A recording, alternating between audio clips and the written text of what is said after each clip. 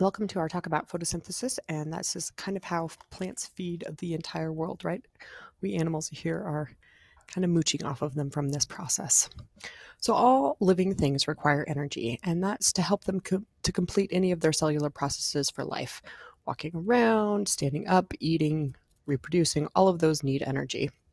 Energy is stored in chemical bonds, and those really are just bonds between atoms. So an example of that is glucose, and we're going to use glucose a lot in this examples in this slideshow. So bear with me. Right when the chemical bonds are broken, energy is captured in the form of ATP, right? Because that ATP is kind of like money in a cell. It's used for a bunch of different pieces in a bunch of different places in the cell. The photosynthesis is where the energy in sunlight is stored in the chemical bonds of glucose, and then the glucose can be used later. Right? Photosynthesis is done by all autotrophs, plants, bacteria, protists. Photo just means light, and synthesis means to make or to put together. So photosynthesis is a pretty obvious word once you understand that photo means light and synthesis means to put together. Let's just go through the very basic who, what, when, where pieces, right?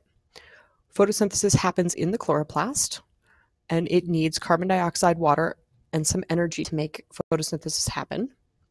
What you get back out are sugars, which is glucose, and oxygen. So if you want the chemical equation, we write it um, like this down at the bottom, six CO2 molecules plus six H2O molecules plus some light energy gives us one sugar molecule and six oxygens. Right? The carbon dioxide actually enters the plant through the stomata, and those are the tiny holes on the bottom side of the leaf. We'll get to see those. Water enters the plant through the roots, which is why plants have roots. And then the light energy is captured by a chemical pigment inside the chloroplasts called chlorophyll. And then we go through a whole number of chemical reactions, none of which you need to know in basic level biology. And then we get glucose and oxygen out the other side. So I think we could summarize this fairly readily into this neat little photosynthesis chart.